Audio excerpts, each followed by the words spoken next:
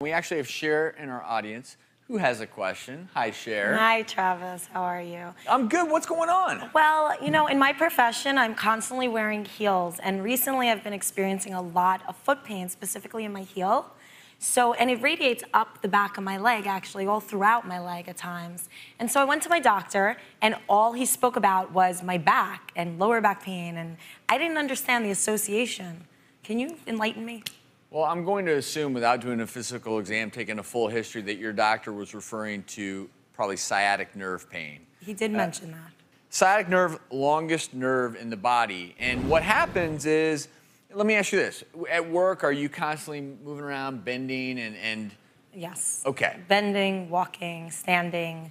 At every level of your spinal column, you have what's called nerve roots. And in your lower back, these nerve roots combine to form the sciatic nerve, which travels all the way around from your, from your lower back all the way down your leg, innervates your entire leg and your foot.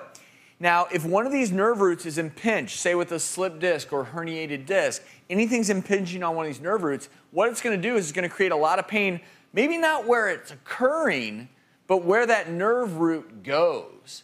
So you can actually experience pain all the way down your leg and even feel some, some pain and numbness because of what's going on here in your lower back, because that's where the nerve starts.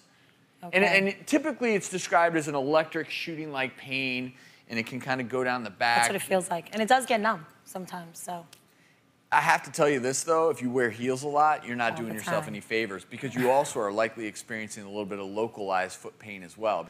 Um, one of the things you can do for this, number one, if it persists or you have any weakness or numbness, you know, you, you need to, to get further evaluated. Uh, but usually conservative measures will take care of a lot of this in most people. One of the stretches you can do for your hamstrings, it's pretty simple. I feel like I'm in gym class.